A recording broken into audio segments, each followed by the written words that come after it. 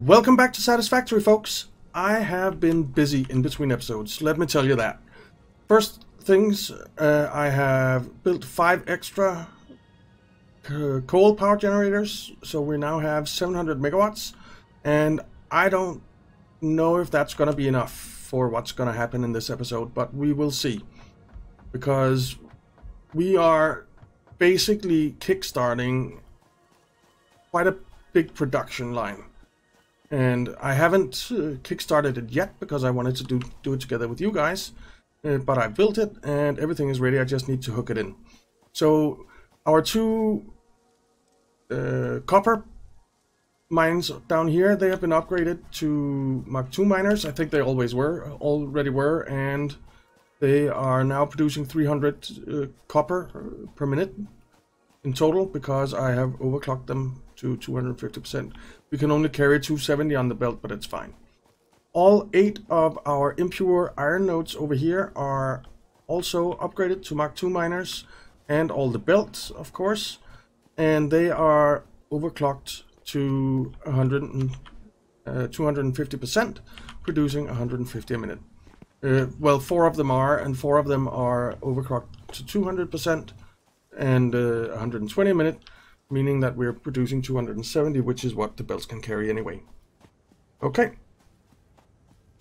All of this belt has been upgraded as well, so it's all Mark uh, 3 now, and as well the lifts in there. And if we run up here, we will see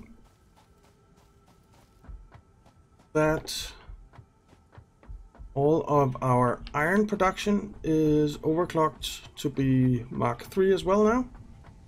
So they are going as fast as they can. I don't know what this guy is producing right now actually. Oh, he's producing uh, the ingots for the steel because I've been using a lot of steel. Okay, let's continue upstairs to our copper uh, where I make a little mistake, but it's not consequential. So, because we're going to need it anyway. But I set up uh, three more production facilities of uh, iron or copper ingot smelting. But we actually only need one of them, the one that we already have, but that has been upgraded to Mark 3 as well. The other two are not quite needed yet, because we are producing 450 uh, iron or copper ingots over in the other one. And that's all we need right now. Well, we're producing 300, 270 because of our belt limitations. So here is the first place that we need to hook up. And that is our copper ingots need to come over here. And as you will see, I have increased our copper uh, wire production threefold. So we will be producing 1350 uh, copper wire a minute when everything is up to Mark 4 belts, but for now it'll be 270 uh, copper wire per minute. So let's go ahead and hook that up. And all of these are configured and should start working immediately. And this one copper belt, copper ingot belt, is supplying all three of these because we only use 15 ingots per minute in each machine and produce 45 wire. So one line of 450 copper ingots will supply three uh, lines of wire production or 1350 wire a minute. And we are already getting wire coming down the line here, we need to hurry up. And here we have some more, uh, we have some iron plates here.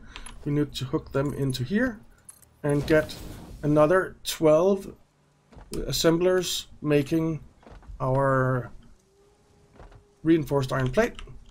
And we will hook the reinforced iron plate into here.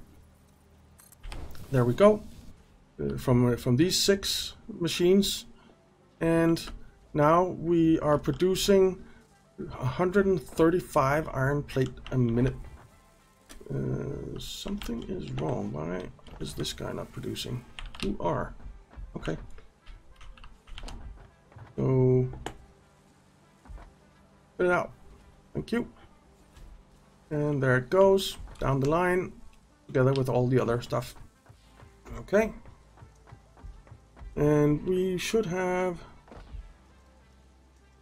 iron plate, uh, reinforced or stitched iron plate in reality being produced in all the machines. They are all hooked up to power and everything. So they're just waiting for materials to produce. But we did have a full container over there. So we are good on reinforced iron plate for a little while. But these do produce 135 minutes, uh, 135 uh, stitched iron plate or reinforced iron plate a minute. So that is very nice.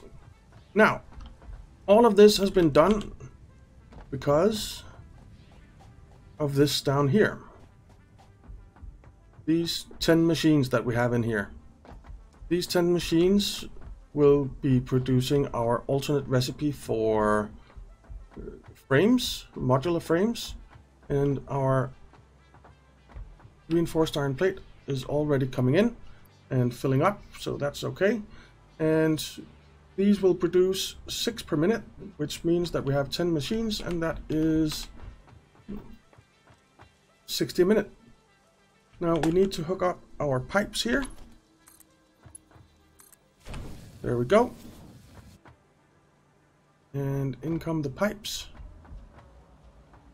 And we should start producing on pipes. There we go. There's the first one. Modular frames. Very good. So this looks a bit weird. The top level over here is our reinforced iron plate coming from over at the other factory. The second line here, the middle line, is actually the overflow for the reinforced iron plate because we only need 120 reinforced iron plate. There goes our power. Okay. So yeah, we spiked. Up too high. Okay. That's fine. That's fine. But we are producing 135 uh, reinforced iron plate a minute and we only need 120. So the overflow will come over here and you can see it's coming there and run on top of the output for the modular frames. And it will come along here and come out there. And if we run upstairs and have a look then we have some storage here and the one on the left here is for the modular frames. I guess we didn't have time to make one, or it's on its way. And this one is for reinforced iron plate. And we have one in there already. And it'll be coming very slowly. It's just 15 a minute. And this is for our own personal uh, usage. So that's pretty good. That's pretty good. Really didn't even make one modular frame. Darn. Okay. Uh, let's see. We, in order to make some more generators, let's make more generators here. Let's make four more. We have enough cable, but we are going to need some more. We have enough modular frames. We just need some rotors. So let's pull out our craft bench here. And we'll actually make some more cable. Just a little bit more. That or something. And rotors, we can make what we need. Nice.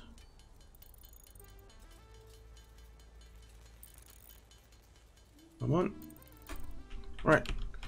So, you know what? let me just run over and set these guys up. Here comes the overflow. And it's a lot of overflow right now because of the power outage. Did we get any modular frames? No, not a single one. Okay. But let me run over and hook up the coal power. It shouldn't take but a second to do. But, mm, well, while we do this, let's talk about what uh, the next thing is. Because in order to send off the space elevator again, if we run over and have a look at that, it's on the way anyway. Then we have have to send off uh, modular frames, which is why I started producing them. So we need 100 modular frames and we need 150 motors, or 500 modular frames, sorry. So we need to make motors, and for that we need rotors and stators. So I think rotors is going to be the next project, and then stators, and then motors to be able to send off our space elevator and unlock tiers 5 and 6 so that we can get uh, fuel power and all the other good stuff that we really want. So let's see. Let's build these bad boys. Uh, power, coal generator. And I think what we'll do is we'll just stick him in here. Something like that maybe? How does that look? Looks okay. This one won't go in that deep, will it? It will almost. It will. Does cut into the stone a little bit, but I'm fine with that. I can live with it. And then we can fit one here, right next to the other ones. So, and then we just need room for one more. And I guess we will stick that. Come on. Come on. There. Okay. So then we need some belt for the coal. And we'll come up to here, I guess. And come into that one. And then we'll just stick a splitter on like like that. Still going. Good, good. And we'll stick a splitter on here as well. Input will be there.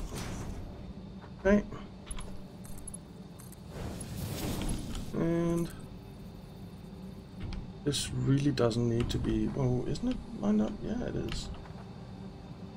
It really doesn't need to be Mark III belt, but never mind doesn't want to do Mark 3 belt, let's try this conveyor belt. Should work. Good being the operative word. word. It's not working. Why is it not working? Normally it works. Let's let's pull this back a little bit then. Like that, I guess. And then another splitter.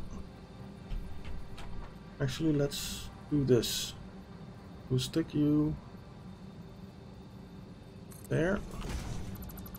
Because this should definitely work. Yeah. And will this go? No. But this will. Yeah. Why are you that color? Okay. And then we can stick that splitter in here and line it up. Something like that.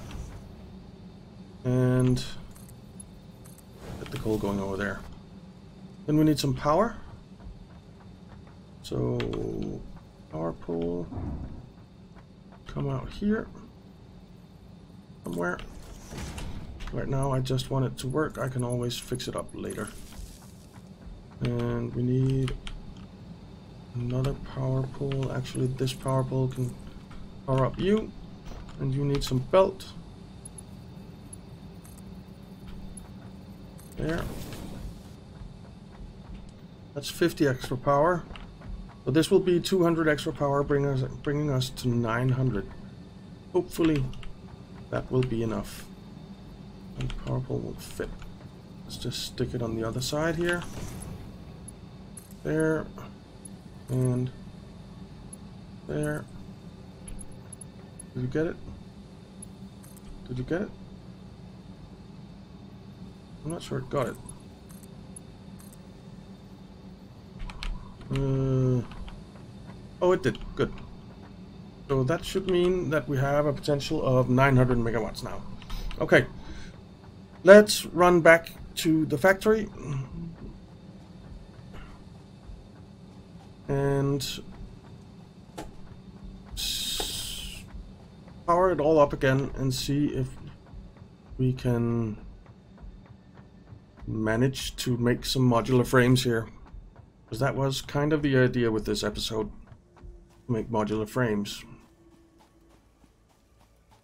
Come on. Luckily with the Blade Runners it doesn't take too long to run back and forth. But it would be nice to get the Explorer or trains. Trains would be fantastic. Really like the look of the trains.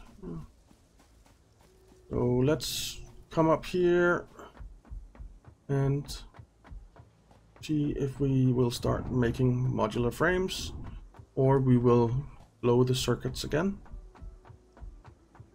Hopefully we won't blow the circuits again because that would be annoying. Let's put it that way. Okay. Come on. Crap. Blew the circuits again. Okay, let me fix the power up and then I'll be right back. See you guys in a second. Alright, so we are over here at our coal plant, uh, coal power production plant.